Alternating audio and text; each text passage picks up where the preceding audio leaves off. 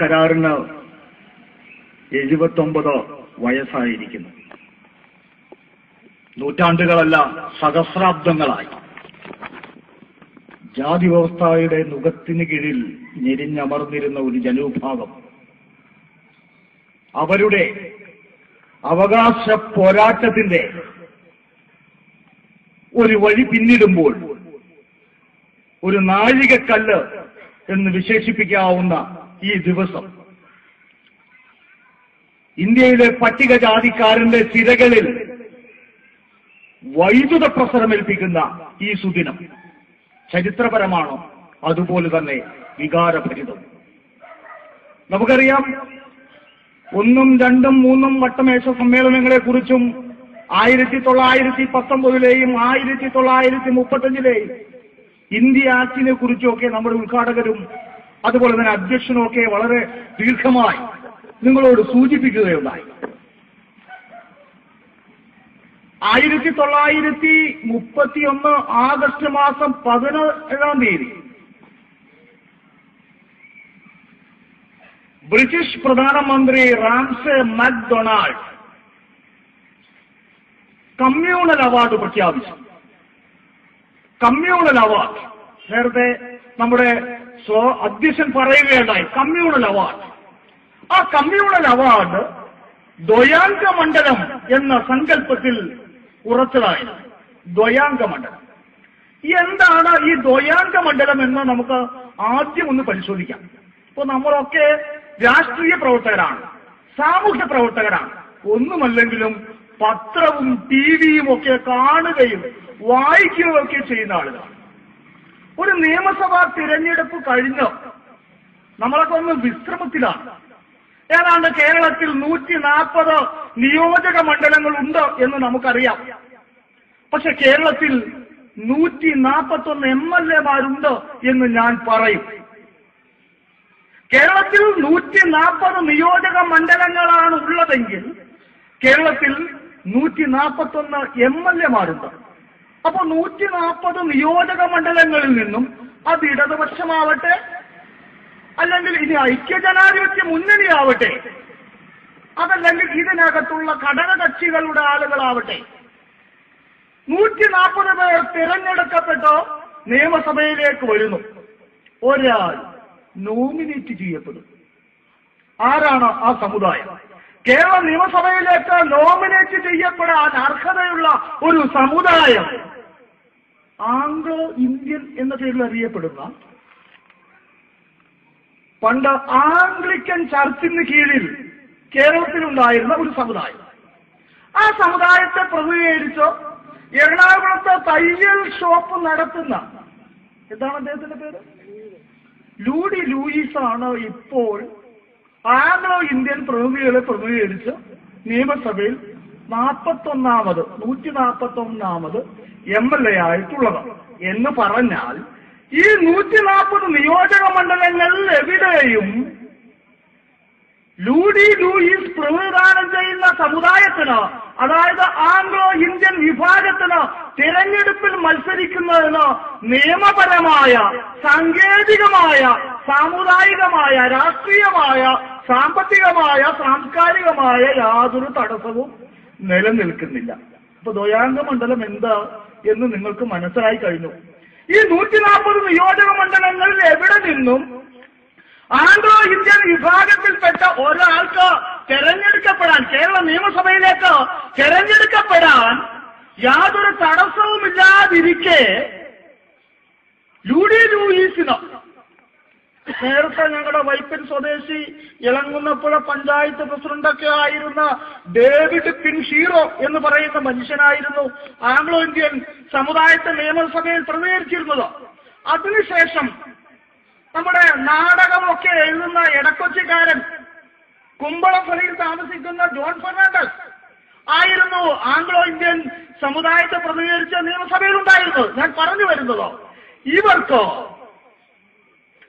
നിയമസഭയിൽ ഇടയ്ക്ക് നമ്മുടെ സഭയുടെ നേതാവായിരിക്കുമ്പോൾ കത്തിക്കുത്തേറ്റ ജീവിതത്തിന്റെ വലിയൊരു ഭാഗം വീൽ ചെയറിൽ കഴിയേണ്ടി വന്ന സൈമൺ ബ്രിട്ടോ ആയിരുന്നു ആംഗ്ലോ ഇന്ത്യൻ സമുദായത്തെ പ്രതികരിച്ചതെന്നും നിങ്ങൾക്കറിയാം. ഞാൻ പറഞ്ഞു വരുന്നതോ.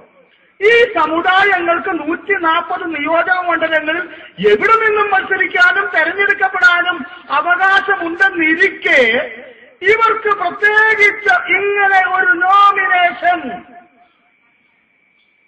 നൽകിയത് ഈ കമ്മ്യൂണൽ അവാർഡാണ് എന്ന് ഞാൻ പറയും. ചരിത്രം പറയും.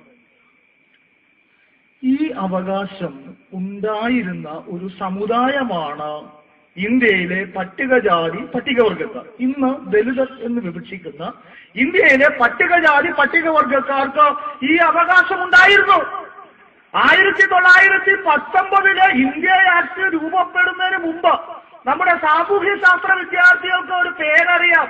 മൊണ്ടേഗു ചെംസ്ഫോർഡ് ഭരണവിഷ്കാരങ്ങളെ കുറിച്ച് മൂന്ന് പുറത്തിൽ കവിയാതെ ഉല്ലസിക്കുക മൊണ്ടേഗു ചെംസ്ഫോർഡ് ഭരണവിഷ്കാരത്തെ കുറിച്ച് മൂന്ന് പുറത്തിൽ കവിയാതെ ഉപന്യസിക്കുക എന്ന് പറഞ്ഞ ഹൈസ്കൂൾ വിദ്യാർത്ഥികൾക്ക് അറിയാം പണ്ടാറം ഈ മുണ്ടേഗു ചെംസ്ഫോർഡ് ഇദ്ദേഹം ഇന്ത്യയിൽ വരികയും ഇന്ത്യയിലെ ന്യൂനപക്ഷങ്ങൾ നേരിടുന്ന അതായത് ആംഗ്ലോ ഇന്ത്യൻസ് ക്രൈസ്തവർ ക്രൈസ്തവർ ന്യൂനപക്ഷമാണ് മുസ്ലിങ്ങൾ അധകൃതർ എന്നാണ് അന്ന് പറഞ്ഞിരുന്നത്. അധകൃതർ ദലിതർ എന്നല്ല അധകൃതർ എന്നാണ് പറഞ്ഞിരുന്നത്.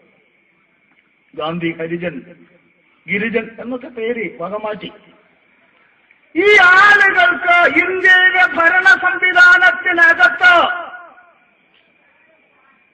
ജനാധിപത്യപരമായ അവകാശം ഉണ്ടാവണമെന്ന് ആദ്യം നിർദ്ദേശിക്കുന്നത് ഇന്ത്യക്കൊരു ഭരണഘടന രൂപീകരിക്കുന്നതിന് വേണ്ടി ബ്രിട്ടീഷ് ഗവൺമെന്റ് നേരിട്ട് ഇന്ത്യയുടെ ഭരണം ഏറ്റെടുത്തതിന് ശേഷം അതിനു മുമ്പ് നമുക്കറിയാം ഈസ്റ്റ് ഇന്ത്യ കമ്പനി ആയിരുന്നു.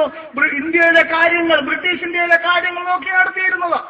പക്ഷെ ചക്രവർത്തി തിരുമനസ് ബ്രിട്ടീഷ് സാമ്രാജ്യത്വം എന്ന് കമ്മ്യൂണിസ്റ്റുകാർ ചക്രവർത്തി തിരുമനസ് എന്ന് സാമൂഹ്യ ശാസ്ത്ര ചരിത്രകാരന്മാർ ചക്രവർത്തി തിരുമനസ് ഇന്ത്യ മഹാരാജ്യത്തിന്റെ ഭരണം ഏറ്റെടുത്തതിന് ശേഷം ഈ ഇന്ത്യക്കാർക്ക് ഒരു ഭരണഘടന ഉണ്ടാവണമെന്ന് ആഗ്രഹിച്ചതിന്റെ അടിസ്ഥാനത്തിൽ ആ ഭരണഘടന രൂപീകരിക്കുമ്പോൾ പരിഗണിക്കപ്പെടേണ്ട വിഭാഗങ്ങൾ ഏതൊക്കെയാണ് എന്ന് പരിശോധിച്ചറിയുകയും അതിനെക്കുറിച്ചൊരു റിപ്പോർട്ട് ബ്രിട്ടീഷ് സർക്കാരിന് ബ്രിട്ടീഷ് പാർലമെന്റിന് സമർപ്പിക്കുന്നതിന് വേണ്ടിയാണ് ഈ മൊണ്ടേഗു ചെംസ്ഫോർഡിന് ഇന്ത്യയിലേക്ക് പറഞ്ഞു വിട്ടത് അദ്ദേഹം വളരെ വിശദമായി പഠിച്ചു.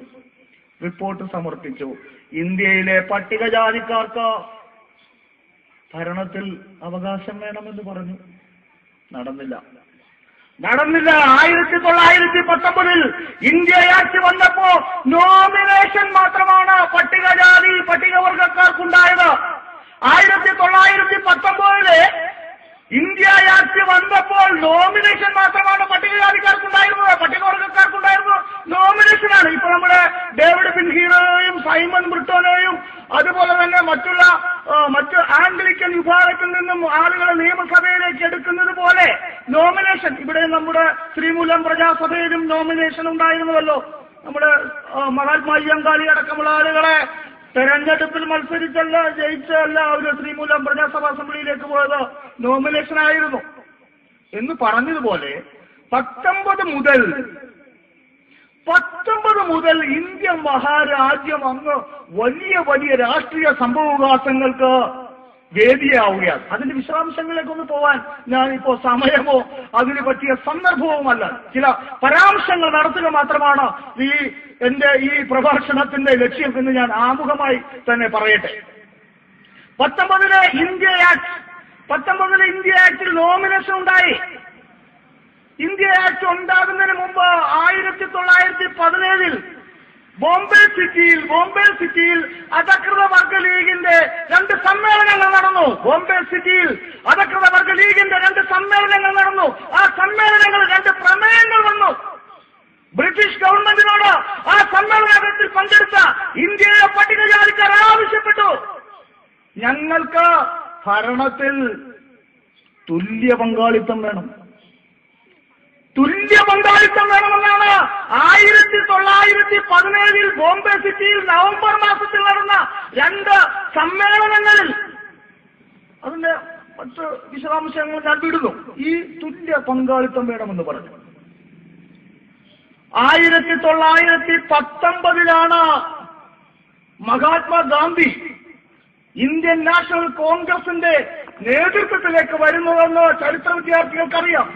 എന്റെ മുന്നിലിരിക്കുന്ന ആളുകൾ ചരിത്രം നന്നായി പഠിച്ചിട്ടുള്ളതുകൊണ്ട് ഞാൻ അതിന്റെ വിശദാംശങ്ങൾ വിടുകയാണ്. ഞാൻ ചില സൂചനകൾ മാത്രമാണ് പറയുന്നത്. ആയിരത്തി തൊള്ളായിരത്തി പത്തൊമ്പതിലാണ് ഇന്ത്യ മഹാരാജ്യത്ത് ബ്രിട്ടീഷുകാർക്കെതിരായി പോരാട്ടം നടത്തുന്നു എന്ന് അവകാശപ്പെട്ടിരുന്ന എന്ന് ഞാൻ പറയൂ ആയിരത്തി തൊള്ളായിരത്തി പത്തൊമ്പതിൽ ബ്രിട്ടീഷുകാർക്കെതിരെ പോരാട്ടം നടത്തുന്നു എന്ന് അവകാശപ്പെട്ടിരുന്ന ഇന്ത്യൻ നാഷണൽ കോൺഗ്രസിന്റെ നേതൃത്വത്തിലേക്ക് ആയിരത്തി തൊള്ളായിരത്തി പത്തൊമ്പതിലാണ് മഹാത്മാഗാന്ധി വന്നത്. അദ്ദേഹം ആഫ്രിക്കയിൽ വക്കീലാകുകയും വക്കീൽ പണിയും അതുമാത്രമല്ല ബ്രിട്ടീഷുകാരെ സേവി സേവിച്ച് സൈന്യത്തിൽ പ്രവർത്തിച്ചതും ഒക്കെ നിങ്ങൾക്കറിയാം. ബ്രിട്ടീഷുകാരെ സേവിക്കുന്ന സൈനിക പ്രവർത്തനം നടത്തുകയും ബ്രിട്ടീഷുകാർക്കെതിരായി ആഫ്രിക്കയിലെ കറുത്തവർ നടത്തിയ പോരാട്ടത്തെ അടിച്ചമർത്തുന്നതിന് വേണ്ടി അദ്ദേഹത്തിന്റെ നേതൃത്വത്തിൽ ഒരു ഇരുപതംഗ സ്ക്വാഡ് രൂപീകരിച്ച് അതിന്റെ കമാൻഡറായി അദ്ദേഹം ആഫ്രിക്കയിൽ പ്രവർത്തിച്ചിരുന്ന ചരിത്രമൊക്കെ എല്ലാവർക്കും അറിയാമെന്ന് ഞാൻ കരുതുന്നു. അതൊക്കെ കഴിഞ്ഞ് അദ്ദേഹം ഇന്ത്യയിലേക്ക് വന്ന് ഇന്ത്യൻ നാഷണൽ കോൺഗ്രസിന്റെ നേതൃത്വത്തിലേക്ക് അവരോധിതനായി. അദ്ദേഹം വരുമ്പോ ഇന്ത്യയിലെ കോൺഗ്രസിന്റെ സ്ഥിതി ഇന്ത്യയിലെ കോൺഗ്രസ് ഞായറാഴ്ച കോൺഗ്രസ് ആയിരുന്നു. ഞായറാഴ്ച മാത്രമേ കൂടൂ. കാരണം എല്ലാവരും ഉന്നത കുലജാതരായിരുന്ന ആളുകളായിരുന്നു. ഉന്നത കുലജാതരായിരുന്ന ആളുകളായതുകൊണ്ട് തന്നെ അവർക്ക് ഞായറാഴ്ച മാത്രമേ ഒഴിവുള്ളൂ. ഞായറാഴ്ച കൂടി അവർ പ്രമേയം പാസാക്കും. ബ്രിട്ടീഷ് രാജാവിനോ പ്രധാനമന്ത്രിക്കോ അതുപോലെ സ്റ്റേറ്റ് സെക്രട്ടറിക്ക് അയച്ചു കൊടുക്കും. നിങ്ങൾ രാജ്യം വിട്ടു പോകണം. ബ്രിട്ടീഷുകാർ രാജ്യം വിട്ടു പോവില്ല. അടുത്ത ഞായറാഴ്ചയും കൂടും. ആ പ്രമേയം വീണ്ടും പാസ്സാക്കും അയച്ചു കൊടുക്കും. ഇങ്ങനെ ഞായറാഴ്ച കൂടി പ്രമേയങ്ങൾ പാസാക്കി ബ്രിട്ടീഷ് ഗവൺമെന്റിലേക്ക് അയച്ചു കൊടുത്തുകൊണ്ടിരുന്ന കോൺഗ്രസിനെ നിയമലംഘന പ്രസ്ഥാനത്തിലൂടെയും നിസ്സഹകരണ പ്രസ്ഥാനത്തിലൂടെയും ഒക്കെ ഇന്ന് കാണുന്ന ജനകീയ കോൺഗ്രസായി മാറ്റിയത് ഗാന്ധിയാണെന്നുള്ള കാര്യത്തിൽ നമുക്കാർക്കും തർക്കമില്ല. ഏതാണ്ട് ആയിരത്തി തൊള്ളായിരത്തി ഇരുപത്തിരണ്ട് ആകുമ്പോഴേക്കും ഗാന്ധി ഇന്ത്യയിൽ നാഷണൽ കോൺഗ്രസിന്റെ അനിശ്ചിത്യ നേതാവായി മാറിക്കഴിഞ്ഞിരുന്നു. ആ വൃദ്ധൻ പറയുന്നതിനനുസരിച്ച് ഇന്ത്യ ചലിക്കുമായിരുന്നു എന്ന് അദ്ദേഹത്തിന്റെ മുഴുവൻ ജീവചരിത്രകാരന്മാർ ആയിരക്കണക്കായ ജീവചരിത്രങ്ങളാണ് ഗാന്ധിയെക്കുറിച്ച് പ്രസിദ്ധീകരിക്കപ്പെട്ടിട്ടുള്ളത്. ആ എല്ലാ ജീവചരിത്രങ്ങളിലും അദ്ദേഹത്തിന്റെ അവതാന കഥകൾ നിറഞ്ഞു നിൽക്കുന്ന മുഴുവൻ ജീവചരിത്രങ്ങളിലും ആ മനുഷ്യൻ നടക്കുന്നതിനനുസരിച്ച് ഇന്ത്യ കുലുമ്പമായിരുന്നു എന്ന് എഴുതി പിടിപ്പിച്ചിരിക്കുന്നു. നമുക്ക് തർക്കമില്ല. പക്ഷെ ആ ഗാന്ധി നമുക്കെതിരായിരുന്നു എന്ന് അംബേദ്കർ ചരിത്രം നമ്മളെ പഠിപ്പിക്കുന്നു. ഇന്ത്യയിലെ പട്ടികജാതിക്കാർക്ക് ആയിരത്തി തൊള്ളായിരത്തി മുപ്പത്തി ഒന്ന് ആഗസ്റ്റ് മാസം പതിനേഴാം തീയതി ബ്രിട്ടീഷ് പ്രധാനമന്ത്രി ബ്രിട്ടീഷ് രാജാവിന് വേണ്ടി പ്രഖ്യാപിച്ച കമ്മ്യൂണൽ അവാർഡിനെതിരായിട്ടാണ് ഏതാണ്ട് നാല് ദിവസം നാല് ദിവസം ഒരാൾ നിരാഹാരം കിടന്നാൽ മരിച്ചു പോകുമോ? പതിനാറ് ദിവസം നിരാഹാരം കിടന്ന ഒരാളാണ് ഞാൻ. C T Sukumaran I A എസിന്റെ കൊലപാതകം സി ബി ഐ അന്വേഷിക്കണമെന്ന് ആവശ്യപ്പെട്ടുകൊണ്ട് എറണാകുളം ഹൈക്കോടതി ജെട്ടിയിൽ പതിനാറ് ദിവസം പതിനാറ് ഇന്റു ഇരുപത്തിനാല് മണിക്കൂർ നിരാഹാരം കിടന്ന ഞാൻ മരിച്ചുപോയില്ല. പക്ഷെ നാല് ദിവസം കഴിഞ്ഞപ്പോഴേക്കും മൃതപ്രായനായി ഗാന്ധി എന്നാണ് ചരിത്രം നമ്മെ പഠിപ്പിക്കുന്നത്. ഇരുപതാം തീയതി തുടങ്ങി ഇരുപത്തിനാലാം തീയതിയാണ് നിരാഹാര സമരം അവസാനിപ്പിക്കുന്നത്. ഞാൻ അതുകൊണ്ടാണ് പറഞ്ഞത് ഇന്ത്യയിലെ പട്ടികജാതിക്കാരന്റെ കണ്ണീരും രക്തവും വീണ ഒരു സുദിനമാണെന്ന്. ഇന്ത്യയിലെ പട്ടികജാതിക്കാരന്റെ കണ്ണീരും ജറ്റവും വീണ സുദിനമാണെന്ന്. അതുകൊണ്ടാണ് ഈ ദിവസം ചരിത്രപരം എന്നതുപോലെ തന്നെ നമ്മളെ സംബന്ധിച്ചിടത്തോളം വികാരഭരിതവും